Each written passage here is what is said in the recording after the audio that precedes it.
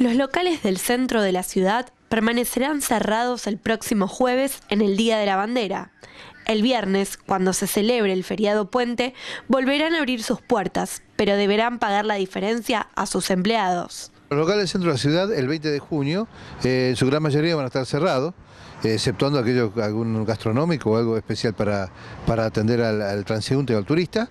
Y el día 21, viernes, eh, van a abrir normalmente. Y por supuesto, sábado y domingo, aquellos que lo hacen habitualmente, lo harán de la misma manera, siempre lógicamente teniendo que abonar lo que la ley de trabajo demanda para los casos de los feriados largos el día viernes, eh, inclusive también, ¿no es cierto?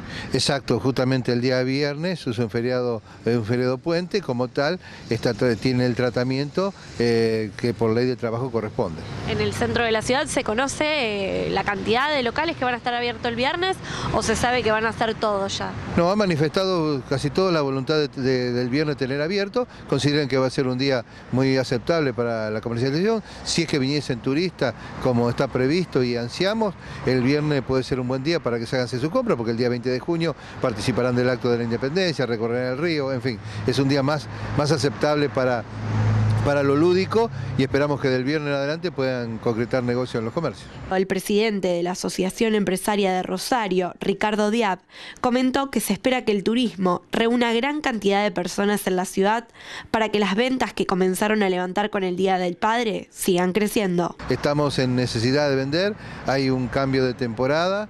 Eh, se vino el frío, eh, en fin, eh, puede haber mucha gente en la ciudad con motivo del, del feriado largo, así que bueno, están todos preparados para que así ello pueda ocurrir. ¿Las ventas del Día del Padre han superado sus expectativas, han cumplido? En algunos casos sí, eh, fundamentalmente en lo que es indumentaria deportiva, que ha, superado hasta la, venta media nacional. Eh, muchos no han manifestado que indumentaria se ha, movido muy bien, este, traccionado por el cambio de clima, que todos prefirieron regalarle alguna ropita de abrigo al padre para que no se nos enferme. Eh, perfumería es una de las áreas que estuvo muy bien, gastronomía estuvieron muy bien. En fin, fue digamos, una mejora de cómo venían las ventas en líneas generales con respecto al semestre del año anterior, pero creo creo que aún con estos guarismos no alcanza todavía a superar lo que fue el primer semestre del 2012.